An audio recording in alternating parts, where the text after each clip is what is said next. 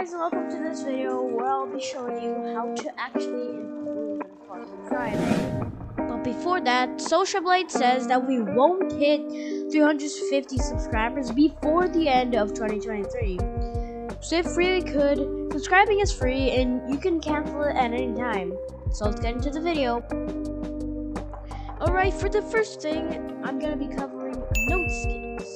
In the Style tab of the Arrow customization menu, I personally use the Auto Eliminate circles. For you, it might be just the default, your might be bar, might be circular, might be divided by zero, or maybe even the Among this one.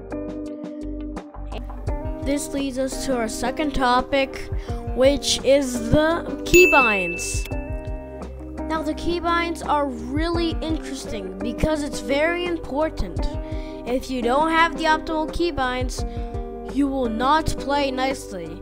Some people use AS comma period, others use AS JK, but you need to find your correct keybinds. Now, one of the most important things uh, is scroll speed. Scroll speed affects how fast the arrows go down or up. You need to find your scroll speed as well.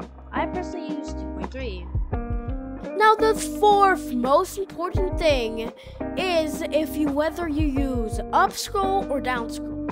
If you do not know, up scroll makes your arrows go from the bottom to the top, and down scroll means that arrows will go from the top to the bottom.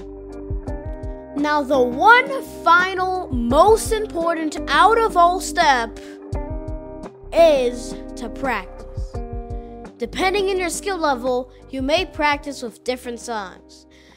If you're still in the beginning, you're still trying to get your accuracy up, maybe trying to get less misses, I recommend the UG B-side Redux.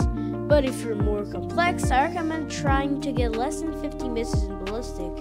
If you're even better than that, start practicing on the song Run.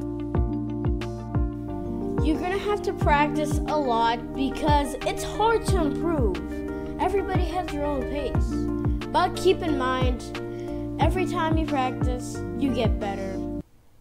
Happy playing and goodbye.